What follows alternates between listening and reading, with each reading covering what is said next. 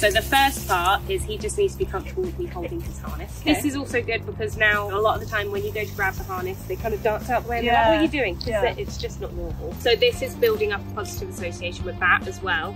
So what I'm gonna do first, I'm gonna hold his harness, the handle on his harness. As I do that, I'm gonna reward him. So this is good as well for like the vets, because they are gonna lean over Yeah. and grab him in ways that he's a bit like, whoa, why are you doing that?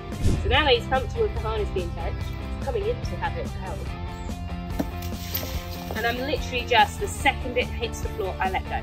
So he's just feeling that tension for half a second before I then go, okay, get it. But I'm getting him quite excited to chase this ball, but got to wait just half